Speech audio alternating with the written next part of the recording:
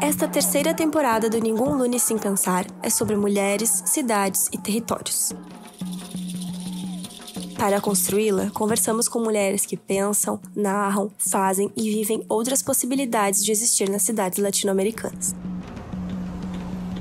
A partir de encontros com Catumirim, Graça Xavier, integrantes do coletivo Preta Velha, Marisol Cabreira e Yasmin Bentes, pensamos a resistência de mulheres indígenas urbanas contra o racismo e a misoginia, a participação feminina na luta pela moradia popular, a atuação comunitária delas na defesa da cidadania nas periferias, o planejamento urbano de cidades feministas e cuidadoras e a importância da representação política feminina no combate ao racismo ambiental e à exploração de territórios quilombolas. Tudo isso a partir da perspectiva de mulheres cujo caminhar ao lado de outras mulheres tece formas contra-hegemônicas de reimaginar e fazer cidades.